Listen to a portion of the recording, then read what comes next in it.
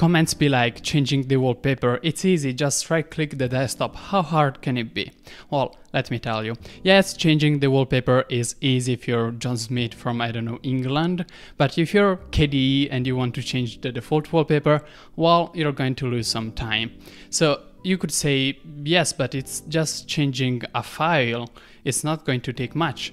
Well, yes, but you we don't just change the file of the wallpaper and that's it. We also want to a preserve the old wallpaper. So basically, we take the old one and we move it to another repository. And sure, it's very easy. You just need to move it, add uh, it to the make file, and then you know git branch, uh, commit it to the branch, and git pull. That's easy.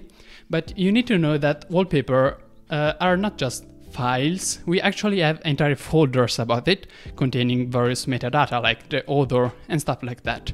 But we just need to create a new folder for the new wallpaper and that's it, right? Well, no. We also have in Breeze many, many uh, previews of, you know, the light version of Breeze, the dark version of Breeze, and so on, the lock screen, etc. And all of those use the wallpaper.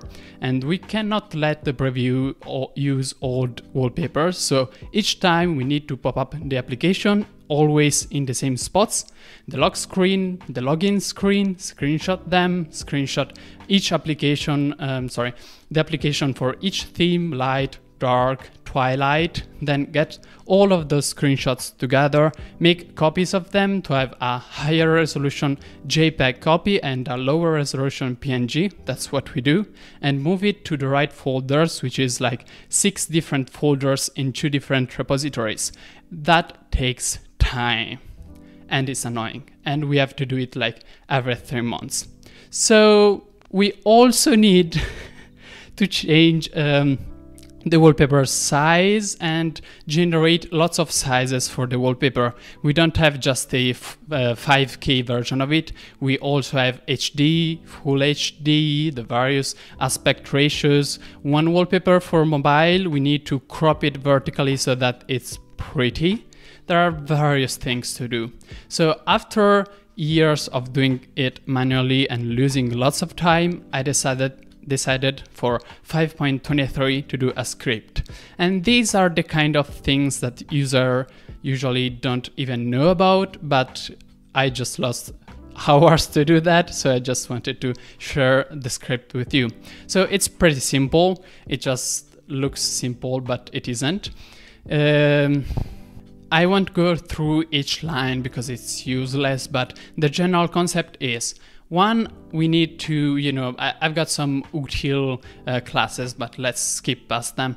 But I have very important one, we need to git uh, check out the master branch, git pull if possible, like sure remove that because it kept freezing at that step, so no git pull for us.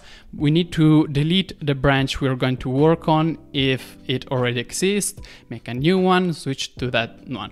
And that's the git setup. Then we need to move the wallpaper. Actually, sorry, before that, we need to know where the repositories are. So we ask the user, where is the folder for Breeze? Where is the folder for Plasma Workspace? Blah, blah, blah, blah, very boring.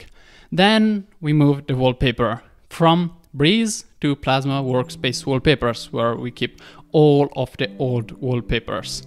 After doing that, we change the metadata file, sorry, the make file, then we create a new directory for the new wallpaper, we generate the sizes, we go on, take the size that we want and use it uh, to create the previews. Now, one approach that I could have done was to just set it automatically as a wallpaper, then pop up the windows in the right positions, take a screenshot all from the script, but I thought that it was going to be pretty difficult. So what I did was just to take a screenshot of each application, put them in right spots and made the wallpaper transparent. So I just have to take that image and overlay it on top of the wallpaper. That means we lose transparency because I cannot start blurring just like Plasma does, but I think it's a good trade-off. For the login and lock screen wallpapers, I manually blur them and then I draw on top the UI of the login and lock screen, which is actually the same because I'm lazy.